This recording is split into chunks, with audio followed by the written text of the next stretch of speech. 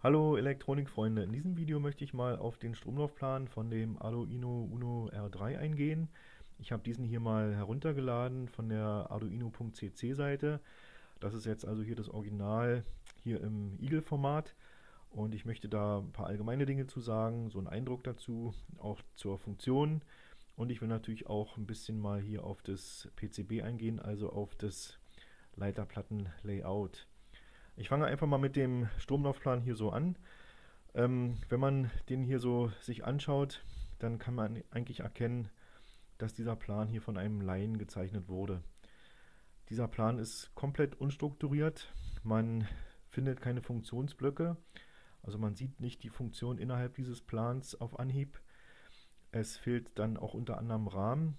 Und das ist auch das erste, was ich einfach mal machen werde. Ich werde hier mal einen Rahmen hinzufügen, in Eagle ist es hier so ein DIN A3-Rahmen. Ich habe festgestellt, dass also ein A4-Rahmen schon zu klein ist. Also ich setze den Rahmen hier mal so hin. Und ich werde jetzt folgendes machen. Ich werde komplett alles markieren und verschieben. Hier die Gruppe. Und zwar so, dass der Nullpunkt hier unten links in der Ecke ist. Das ist eigentlich ein Standard, den man beim Zeichnen von einem Stromlaufplan immer einhalten sollte. Als nächstes werde ich hier mal den Projektnamen hier in den Rahmen schieben, sodass man hier wirklich den, die Information hat, um was es sich handelt.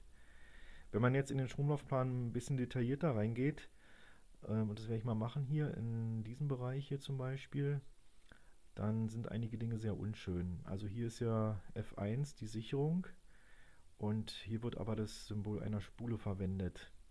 Und das ist natürlich wirklich sehr unschön. Man sollte also hier dann wirklich ein das Symbol einer, einer Sicherung verwende und nicht einer Spule, wenn da dort eine Sicherung verbaut ist. Also man sieht es erstmal nicht, dass es eine Sicherung ist.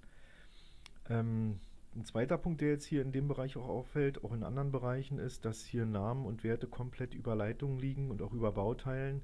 Das ist natürlich auch sehr unschön und es sollte in, um, unbedingt vermieden werden. Also im Stromlaufplan sollen alle Werte und Namen ähm, sichtbar sein, dass man sofort sieht, um was es sich handelt, denn hier weiß man erstmal nicht, was zu wem gehört. Hier ist auch ein weiterer Punkt, hier in dem Fall diese grüne Verbindung von dem Widerstand geht ja unter diesem Widerstand entlang. Das ist auch sehr unschön. Ich würde das jetzt also so zeichnen. Ähm, so eine Sachen, die unter Bauteilen liegen, können durchaus im Electrical Rule Check Warnungen hervorrufen. Also immer die Linien zeichnen, dass die sichtbar sind und in keinem Fall Durchbauteile oder Unterbauteile zeichnen. Weitere Dinge, die mir jetzt so aufgefallen sind, sind die unter anderem, wenn ich jetzt hier mal diesen Stecker hier mir angucke, dann war man sich offenbar generell auch nicht einig, welche Namen und Werte man vergibt. Also für Stecker generell äh, verwendet man ja eigentlich X, also X1 oder irgend sowas und dann einen entsprechenden Wert. Aber hier in dem Fall ist es so, dass der Name ICSP1 ist und der Wert 3 mal 2m. Und das ist sehr unüblich, das macht man eigentlich nicht so. Also hier würde ich jetzt meinetwegen äh, irgendwie x4 verwenden und dann hier zum Beispiel ein ISP M16U2, weil das nämlich der Stecker ist für den ISP-Anschluss für den ATmega 16. Ja, also so würde ich das machen. Also so macht man es generell und nicht diese andere Form, die hier zu sehen war mit ICSP1 und 3x2M. Des Weiteren ist mir aufgefallen, hier oben bei diesem Stecker, das ist hier die Hohlbuchse auf dem Arduino und die ist sehr ungünstig gezeichnet. Also zum einen ist der Name und der Wert, also X1 und Power Supply auf dem falschen Layer. Das sehe ich daran, dass hier dieses bräunlich gefärbt ist und nicht gräulich. In Eagle ist es so, dass die Namen und die Werte auf dem T-Name und T-Value-Layer natürlich liegen. Das ist hier nicht gemacht worden. Das zweite ist, man hat hier so eine Kreuzung drin, die hätte man ganz locker umgehen können, indem man das Symbol umzeichnet. Also hier drei nach unten und zwei zur Seite.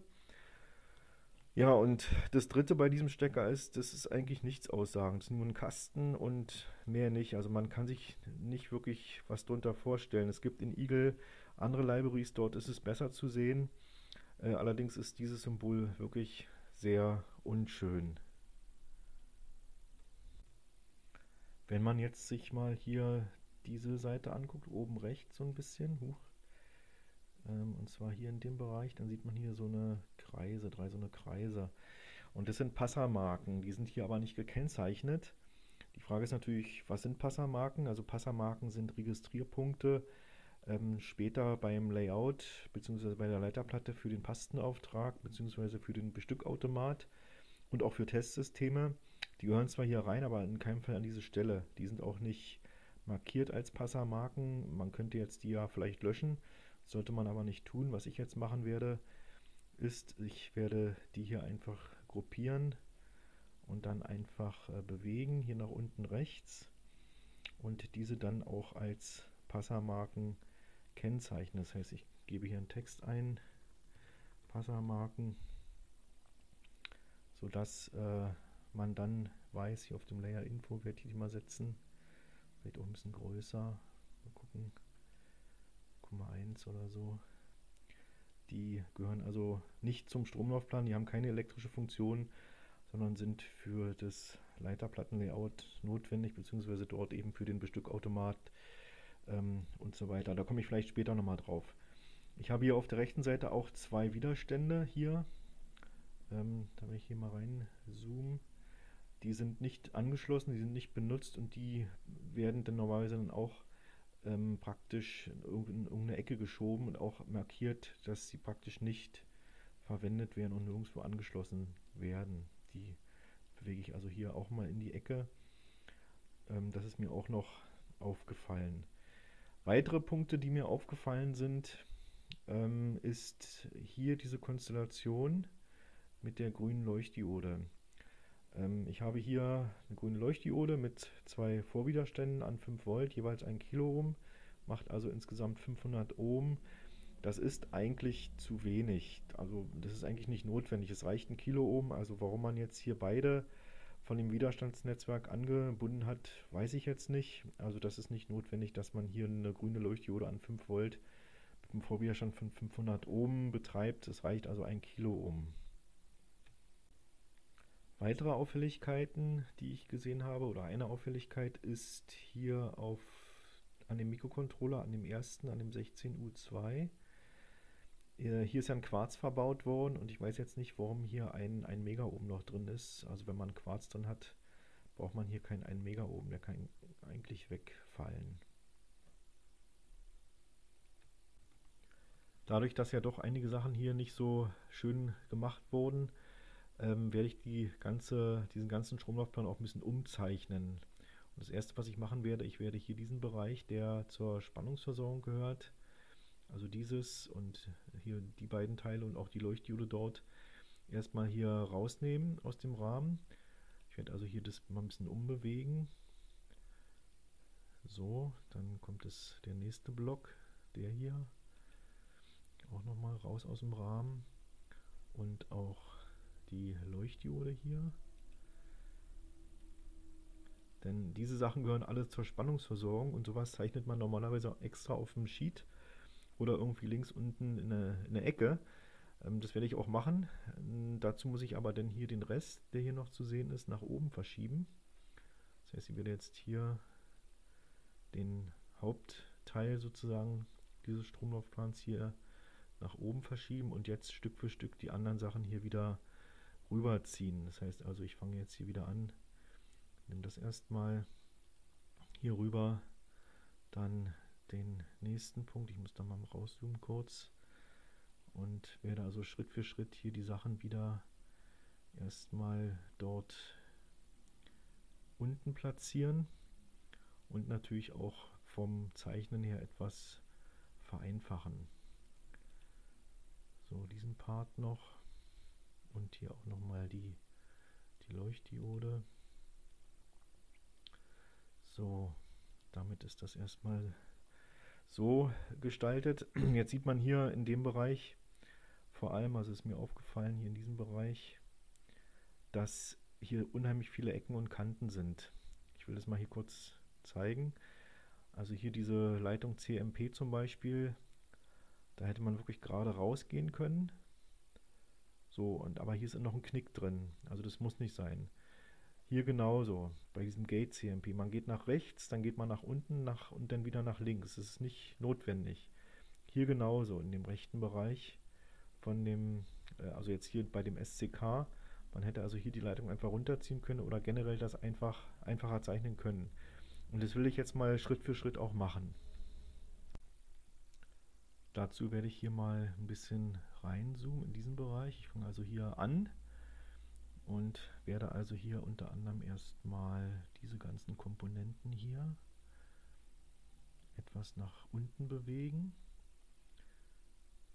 Ungefähr hierhin. Man sieht also, man kann sofort eine Menge Platz sparen. Das Gate CMP braucht man natürlich noch als Hinweis, welches Netz das ist. Dann kann ich auch diese Sachen hier auch nochmal nach rechts verschieben.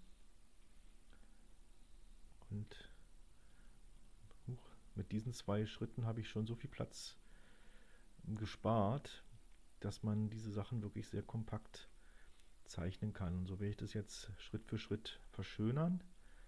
Das heißt, ich werde jetzt hier das mal auch ein bisschen runternehmen. Etwas nach unten. Hier auch nochmal etwas runterziehen. Dann haben wir hier die Sache mit diesem Spannungsregler. Da, den werde ich hier auch mal komplett nehmen und meinetwegen äh, hier hinziehen und nochmal bewegen. So meinetwegen und hier auch nochmal näher ran. Also man sieht, man kann unheimlich viel vereinfachen vom Zeichnen her gesehen. Es hat sich ja schaltungsmäßig im Moment gar nichts geändert. Ich zeichne das nur so ein bisschen um. Mehr mache ich ja gar nicht. Dann nehme ich jetzt hier auf der rechten Seite hier dieses SCK, den Block mit dem SCK, bewege den hier mal da in die Mitte. Und ja, ziehe das auch mal hier ein bisschen rüber.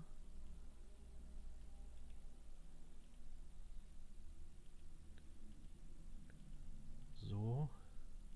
Na und jetzt werde ich den Widerstand einfach horizontal legen. L13 gehört hier zu dem Netz. Und damit ist die Sache auch sehr einfach gezeichnet. Das gleiche mache ich natürlich hier mit dem auch nochmal, mit diesem Bereich. Ähm, dazu werde ich auch mal dieses hier nochmal einfach hier ein Stück nach unten bewegen. So, wenn man sowas zeichnet, da komme ich gleich nochmal darauf zurück, sollte man zusehen, dass man die, die ganzen Ground-Anschlüsse auf einer Höhe hat am Ende. Das heißt, wenn ich jetzt hier das bewege, dann werde ich das so machen, dass hier die Grounds nachher alle in diesem Bereich auf einer Höhe liegen. Das ist optisch nachher sehr angenehm und man erkennt sofort, wo die Sachen dort äh, angeschlossen sind und wo jetzt hier in dem Fall der Grauen zum Beispiel liegt. So, so sieht das schon mal etwas anders aus. Bei der Leuchtdiode ist es so, die werde ich nicht nur verschieben, sondern auch drehen. So in dem Fall sieht es dann jetzt also so aus. Und man sieht hier im unteren Bereich, ich habe wesentlich weniger Platz jetzt hier verbraucht. Und ich habe schon einige Funktionsblöcke jetzt, die man hier erkennt. Also hier meinetwegen Bypass-Kondensator auf der linken Seite, dann hier die Erkennung, ob man mit externer oder USB-Spannung versorgt, dann den 3,3 Volt Regler oder was das ist, genau 3,3 Volt Regler, dann hier SCK, die Powerbuchse und so weiter. Es ist sicherlich noch nicht so optimal. Man würde es jetzt äh, so machen, dass man zum Beispiel mit der Powerbuchse ganz links anfängt und dann Schritt für Schritt verschiedene Sachen dort äh, umplatziert von der Funktionsweise her, dass man sozusagen den Verlauf sieht, also Spannungseingang und wie das dann weitergeht. Und das will ich jetzt natürlich dann auch nochmal machen. Dazu werde ich jetzt als erstes hier mal die externe Spannungsversorgung nach links rüber setzen und hier den Rest erstmal ein Stück nach rechts, dass dort Platz ist. Also hier dieses die ganzen Bauteile. So in etwa. Und jetzt haben wir hier links gleich die Spannungsversorgung. Kann noch ein bisschen nach rechts vielleicht. So ein Stück. Jetzt werde ich die Grounds auf einer auf eine Höhe setzen. Und ist das Signal V-In, ist ganz wichtig. Und als nächstes ähm, ist es ja so, dass dieses Signal V-In hier auf, äh, an diesem Block angeschlossen ist. Das heißt, ich werde danach diesen Block hier platzieren. Also dieses, diesen Bypass-Kondensator, den nehme ich da in der Mitte mal raus. Das schiebe ich woanders hin. Und wie erstmal weg. Und werde also hier diesen Block mit dem 3,3 Volt Regler dann hier direkt so, so platzieren. Ich werde nochmal sehen, das ist jetzt ein etwas ungleich hier mit den Grauens. Das mache ich auf jeden Fall gerade. Und was auch wichtig ist, dass man hier diese 5 Volt Sachen auch auf einer Höhe hat, beziehungsweise vermeidet, dass man zu viele Linien hier für die 5 Volt verwendet. Das heißt, man würde dann wirklich 5 Volt Symbole nehmen. Deswegen werde ich dieses Ganze hier auch nochmal etwas umzeichnen. Und zwar werde ich folgendes machen. Ich werde hier 5 Volt ranklemmen. Da ist ja nichts, äh, was jetzt geändert wurde, weil hier sind ja 5 Volt dran. Ich kann aber dann diese Verbindung wegnehmen, kann die also hier hochziehen und kann gleichzeitig hier den Transistor drehen. So zum Beispiel. Und habe hier unten dann meine äh, USB-VCC, die 5 Volt sind hier oben. Es hat sich also jetzt wirklich nichts geändert ähm, von, von der Schaltung her gesehen, aber ich habe das etwas anders gezeichnet. Also man würde jetzt hier das wirklich blockweise machen, funktionsweise, dann würde ich hier diesen 3,3 Volt Regler etwas nach rechts schieben natürlich wiederum. So in etwa und so gibt es dann wirklich eine bessere Übersicht. Wie gesagt, im Stromaufplan an sich hat sich jetzt bis jetzt nichts geändert. Ich habe also nichts gelöscht oder so sondern ich habe einfach nur ein bisschen umgezeichnet. Als nächstes äh, würde ich diese, den Block hier mit dem SCK rübersetzen. Also hier rüber gehen und zum Schluss natürlich dann hier die Bypass-Kondensatoren, da kommen ja noch andere hinzu von den Mikrocontrollern auch die blaue, äh, die grüne Leuchtdiode hier irgendwie so setzen, dass dann das hier so eine Übersicht ergibt. Ich habe jetzt hier im unteren Bereich ein bisschen Struktur geschaffen, wie man sieht, komplett. Das heißt, ich habe auch nochmal abgegrenzt. Ich habe also bezeichnet auch nochmal die Funktionsblöcke hier jeweils. Power Input, Gate CMP und so weiter.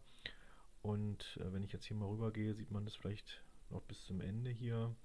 Ich habe auch hier so einen Abschnitt geschaffen, unbenutzt und eben Passermarken nicht entfernen. Also ich habe es nochmal ein bisschen geändert von der Optik her gesehen, ähm, was ich auch gemacht habe, ich habe den oberen Bereich natürlich auch ein bisschen angepasst.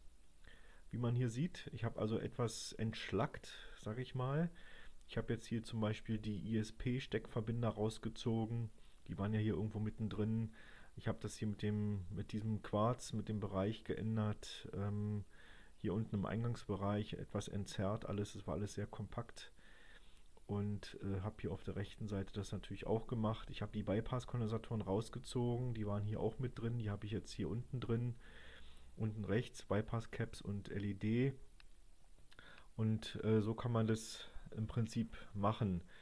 Ähm, was natürlich jetzt äh, noch zu machen wäre oder was man machen kann, ist natürlich mit den Steckverbindern die ganzen Leitungen wegnehmen und nur die Netze benennen. Das mache ich jetzt nicht, das ist einfach zu viel Arbeit an sich.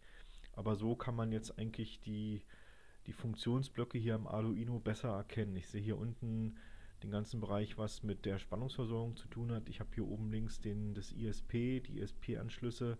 Ich habe hier links USB, ich habe hier den, ja, die Schnittstelle zwischen USB und dem Atmega 328. Ich habe dann eben hier den 328, den Hauptprozessor und ähm, oder Hauptcontroller und eben hier auf der rechten Seite eben die Stiftleisten und so kann man das dann von der Funktionsweise her doch wesentlich besser erkennen, was auf dem Board eigentlich drauf ist.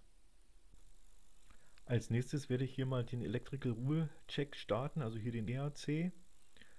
Und ähm, ich habe also hier insgesamt einen Fehler und 18 Warnungen. Ich habe eine gebilligt bereits und zwar hier den Frame. Ich habe ja den Frame eingefügt, der hat also keinen Wert. Das ist also eine Warnung. Ähm, ich vergebe normalerweise für den Frame auch keinen Wert. Ähm, ich will mal ganz kurz die, die Fehler und die Warnung durchgehen. Also der erste Fehler ist hier kein Supply-Pin für Power-Pin äh, Reset. Das ist hier diese, dieser Fehler. Ähm, hier sieht man jetzt einen Taster, der hat äh, fünf Anschlüsse und dieser eine ist hier nicht benutzt. Und offenbar ist es in dem Bauteil so erstellt worden, dass das ein Power-Anschluss ist. Also den muss man normalerweise irgendwo anschließen. Ähm, dadurch, dass der aber nicht benutzt wird, kann man hier sicherlich ähm, diesen Fehler billigen. Äh, dann gibt es weitere Warnungen jetzt in dem Fall. Bauteil Ground hat keinen Wert und das Bauteil Reset Enable hat keinen Wert. Das geht äh, zurück sozusagen auf die Problematik äh, Werte und Namen. Also normalerweise würde man Reset EN als Wert vergeben und nicht als Namen hier in dem Fall. Gut, äh, das kann man sicherlich auch billigen. Sehr unschön ist natürlich die Benennung hier letztendlich allgemein. Werde ich also jetzt hier nicht weiter machen mit. Man kann es billigen, man kann es aber auch so stehen lassen natürlich. Dann haben wir hier nicht angeschlossenen Pin. Das sind die Pins von den unbenutzten Widerständen. Das kann man alles billigen. Also die ersten sechs Punkte, die hier sind, kann man auf jeden Fall billigen. Die haben keinen Einfluss jetzt auf die Schaltung. Allerdings muss man hierzu sagen, bei diesen nicht benutzten Widerständen, man würde sowas generell meinetwegen alles auf Ground setzen, damit die eben da irgendwo fest dran sind und nicht in, lose in der Luft hängen. Die nächsten Punkte, diese Powerpins, die beziehen sich äh, ja eben auf solche Power-Anschlüsse hier, AVCC zum Beispiel. Dort ist ja die Meldung hier als Warnung, Powerpin ist verbunden mit 5 Volt. Diese ganzen Sachen kann man eigentlich auch billigen, weil man das ja so will. Man möchte ja diese 5 Volt am AVCC anschließen, also kann man das dann auch billigen. Das wären also jetzt erstmal hier so die ganzen ähm, ähm, Fehler und Warnungen, die in dem ERC vorhanden sind. Nachdem ich ja einiges hier über den Stromaufplan erzählt habe und auch ein paar Sachen geändert habe, optisch gesehen, möchte ich mal in das Board wechseln, also in das Leiterplattenlayout. Und das sieht erstmal soweit okay aus. Und das erste, was ich erstmal ausführe, ist hier ein äh, Rats Nest, weil man dort erkennt, ob irgendwelche Routen äh, nicht vorhanden sind. Und wie man sieht, ähm, zeigt hier unten Rats Nest zwei Luftlinien an. Leider. Das heißt eigentlich, dass das Board nicht zu Ende geroutet wurde. Ist also nicht fertig. Und wie gesagt, das ist das Original. Also jeder kann das nachvollziehen, der das Original runterlädt, kann diese Funktion nachvollziehen. Das ist eigentlich nicht fertig geroutet. Um jetzt herauszufinden, wo diese nicht vorhandenen Routen zu finden sind, äh, nehme ich erstmal alle Layer raus, bis auf die Unrouted und Dimension hier in dem Fall. Und dann sieht man hier einmal hier in dem Bereich und dort sind also Verbindungen, die nicht geroutet worden sind. Um jetzt herauszufinden, was es genau ist, werde ich den Top- und den Bottom-Layer einfach mal einschalten. Und man sieht jetzt hier im unteren Bereich, da ist nur ein Pad. Das kann ich also relativ einfach lösen, das Problem, indem ich auf Root gehe und einfach hier auf dem Layer das fertig route. Ist auch, muss man dazu sagen, unkritisch, äh, trotzdem unschön, ganz klar. Und im oberen Bereich, hier wo das fehlt, da zoome ich mal rein, das hat mich ein bisschen gewundert. Das ist also ein Netz, was hier rüber geroutet werden muss. Und ähm, ich kann mir nicht erklären, warum das fehlt. Also ich werde hier mal die Pads und die Vias nochmal einschalten. Also offenbar ist hier quer rüber noch eine Verbindung gelöscht worden, unbeabsichtigterweise oder so. Auf jeden Fall muss das hier rüber geroutet werden.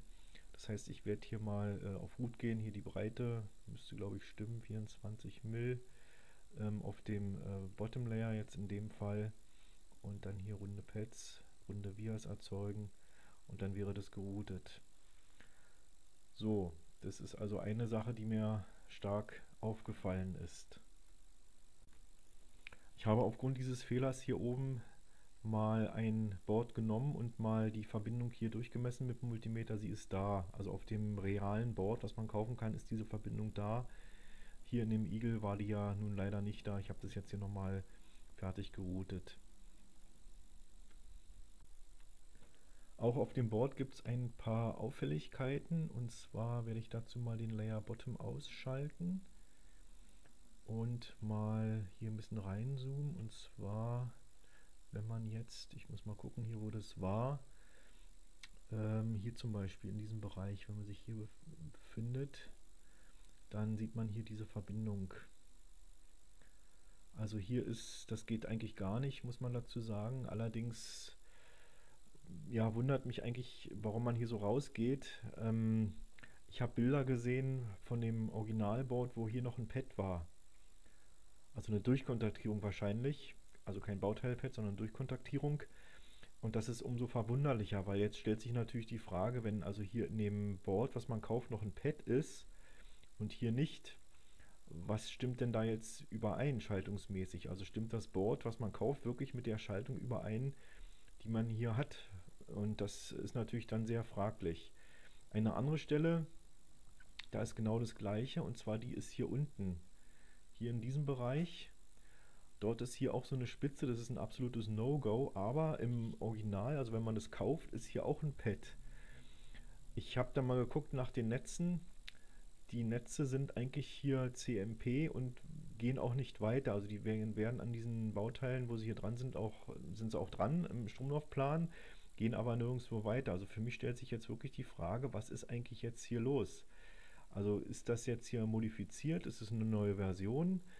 Oder ähm, hat man ganz bewusst hier die Sachen rausgenommen oder wie auch immer? Also ich äh, kann das nicht äh, erklären. Also normalerweise so eine Leiterbahnführung geht hier natürlich nicht, wenn es jetzt so richtig wäre. Davon gehe ich jetzt erstmal aus. Ähm, das ist also nicht, nicht möglich, dass man hier spitze Winkel ähm, generiert im Layout. Ein weiterer Punkt, der mir aufgefallen ist, der ist hier etwas drüber zu sehen.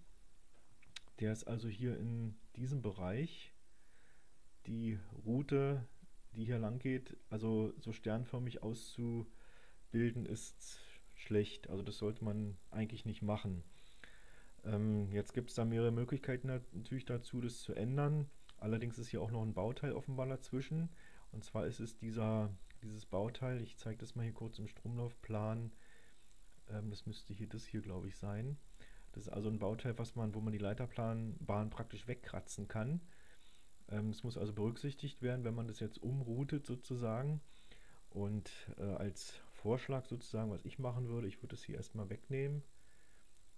Und diese Route, diese Route würde ich wegnehmen, diese auch. Und würde dann hier auf dem Top Layer mit 16 mm in dem Fall dann ähm, hier reingehen, dann von da aus äh, praktisch hier reingehen, dann hier weiter und dann hier so wieder dann dort diese Verbindung schaffen. Man sollte also solche Routen immer im Fluss des Signals sozusagen legen und nicht sternförmig. Das wäre also hier so, ein, so eine Sache, die ich ändern würde. Des Weiteren gibt es hier auf der linken Seite auch nochmal eine Sache, die ähm, auffällt. Und zwar ist es dieses Pad. Und dieses Pad ist ja hier in der Groundfläche eingebunden. Das sieht man ja anhand dieses Kreuzes hier. Man sieht aber auch hier noch schräg was weggehen. Das heißt, hier in dem Fall wurde der Ground Layer oder das Ground-Signal hier geroutet. Das ist normalerweise hier nicht notwendig. Das heißt, ich werde folgendes machen. Ich gehe hier auf Rip Up, werde das rausnehmen und wenn ich jetzt nochmal auf Red's Nest gehe, dann ist das raus. Also wenn man jetzt sowas äh, in Ground einbindet, braucht man normalerweise nicht zu routen und wenn, dann geht man eigentlich nur ähm, vertikal oder horizontal raus und nicht im 45 Grad Winkel. Das sind auch noch Sachen, die hier aufgefallen sind. Generell äh, fällt auch noch auf, dass äh, alle Durchkontaktierungen hier achteckig gestaltet wurden. Das ist eigentlich auch eher unüblich. Normalerweise nimmt man runde Pads. Ähm, gut, das ist hier so gemacht worden. Dann sind noch andere Auffälligkeiten, was die Grauenfläche betrifft. Also hier zum Beispiel, hier in diesem Bereich hier, da ist so ein Rest, den würde man normalerweise wegnehmen. Also den, da würde man einen Restricted, ähm, Restricted Bereich rüberlegen, damit es hier sich nicht ausbildet. Und was auch noch auffällt, ist hier die Leiterbandführung und auch die Breite hier unten von denen. Unter anderem, ähm, man sieht also hier die, die Leitungen gehen nicht gerade mittig in das Pad rein, sondern irgendwie so von der Seite. Das macht man eigentlich auch nicht. Also ich würde es normalerweise so gestalten, dass ich hier dieses alles komplett wegnehme ähm, und neu route und zwar so, dass ich, äh, huch, das war jetzt der falsche, hier auf gut gehe, dann meinetwegen 16, glaube ich, ist eine ganz gute Dicke und dann einfach hier einmal ohne großen Knick hier geradezu äh, mittig ins Pad reingehe, so und eben nicht von der Seite. Es sind viele Stellen so, wo die Routen einfach von der Seite irgendwie rangeführt werden in das Pad. Das ist eigentlich auch eher unüblich. Und hier in dem Fall war es auch so, dass die Leiterbahnen eigentlich hier zu dünn waren. Ich habe die jetzt etwas verbreitert und so kann man es dann einfach auch besser und ordentlicher gestalten. Wenn ich jetzt mal umschalte auf den Bottom Layer und den Top Layer ausschalte, dann sieht man hier auch diese ganzen Verbindungen ja hier oben eben nicht mittig eingeführt äh, in das Pad. Die Abstände sind auch nicht gleich, das will man auch äh, ändern. Es sind teilweise auch Knicke drin, die gar nicht notwendig sind. Also man sieht es hier zum Beispiel an der Seite ähm, und zwar hier diese Verbindung, diese hier, die muss gar nicht so kompliziert verlaufen. Puh, das war jetzt zu viel, ich muss nochmal zurückgehen. So, also ich nehme das jetzt alles mal kurz weg.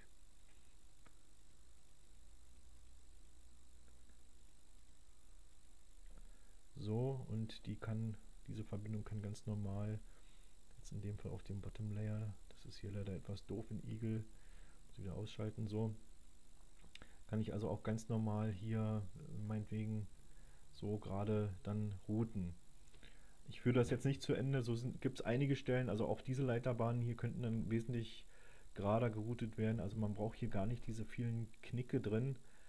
Ähm, jetzt hier zum Beispiel auch hier, das ist alles nicht, nicht notwendig, ja, also es sind viele Dinge, die sind wirklich äh, unschön gemacht worden, also man würde das jetzt hier begradigen irgendwie, dass man hier so schräg einfach nur nur rausgeht und ähm, nicht noch äh, äh, etliche Ecken und Kanten drin hat. Bevor ich zum Schluss nochmal auf die einzelnen Funktionsblöcke hier in dem Arduino eingehe, äh, möchte ich mal auf die Passermarken nochmal kurz zurückkommen. Die Passermarken, die sieht man hier. Ich habe auf dem Layer Top ähm, jetzt mal umgeschaltet. Also hier äh, sind die zu sehen. Einmal hier, dann hier rechts und auch hier unten links nochmal. Das sind äh, Marker, die für den Automaten notwendig sind. Der fährt also diese Marker an und hat sozusagen Referenzpunkte dann für die Bestückung zum Beispiel oder auch für den Pastendruck. Deshalb dürfen diese Marker auch nicht, äh, Passermarken nicht entfernt werden. Zum Schluss, ja, wie gesagt, gehe ich nochmal ganz kurz auf die einzelnen Funktionen hier ein von dem Board. Ich fange dazu mal mit der Spannungsversorgung an. Hier unten links. Uh, das muss ich nochmal zurückziehen hier. Moment. Also hier unten links. Spannungsversorgung, Hohlbuchse hier auf der linken Seite. Und äh, dann haben wir hier eine Verpolschutzdiode.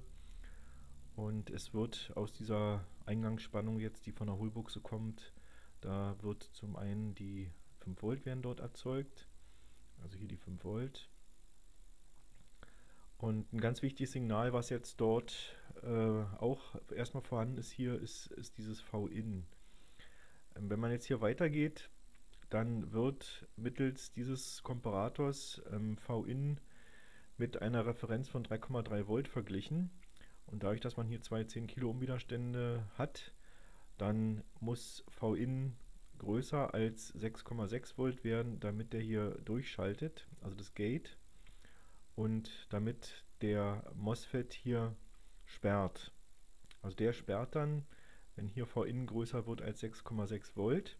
Man sieht hier unten im unteren Bereich, da kommt der USB VCC an. Das heißt, wenn ich eine externe Spannung habe, die größer als 6,6 Volt beträgt und der MOSFET hier sperrt, dann werden diese 6,6 Volt oder diese größer als 6,6 Volt externe Spannung verwendet, um hier diese 5 Volt ähm, für das Board zur Verfügung zu stellen.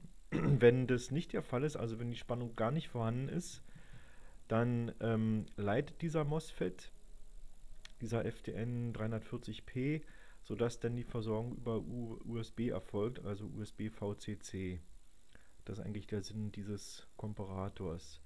Diese 5 Volt, egal woher sie auch kommen, werden dann nochmal runtergebrochen hier mittels 3,3 Volt Regler. Also hier ist ja hier dieser ähm, 3,3 Volt Regler. Auch ein Linearregler wie vorne der 5 Volt Regler und es werden dann dort eben ähm, 3,3 Volt erzeugt hier, wobei diese 3,3 Volt im Board nicht verwendet werden. Also ich werde hier mal die Gesamtansicht zeigen. Diese 3,3 Volt hier, die hier unten zu sehen sind, die werden nur hier rechts oben auf die Stiftleiste rausgeführt.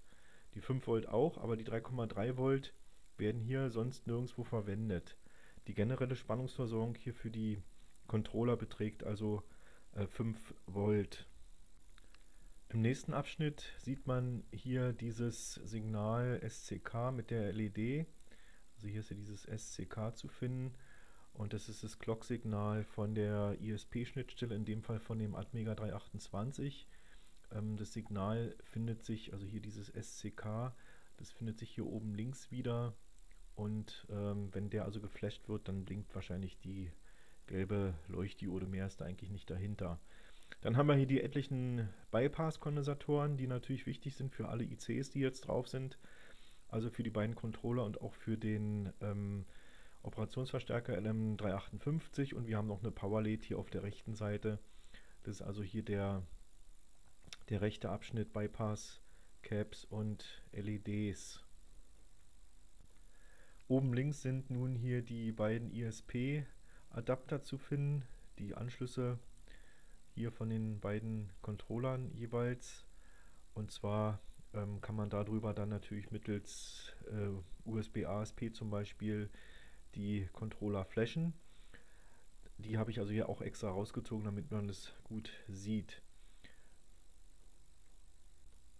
Wenn man jetzt also zum Beispiel für den Arduino 9 ATmega 328 verwendet, dann muss man in dem Menü von, dem, von der IDE von Arduino dort den Bootloader neu laden und das geschieht dann hier eben über diese Schnittstelle. Man braucht dann also, wie gesagt, so einen USB-ASP-Programmieradapter oder einen ähnlichen und dann wird erst der Bootloader raufgeladen und erst wenn der drauf ist, dann kann man über USB ganz normal seine äh, Programme dort hochladen.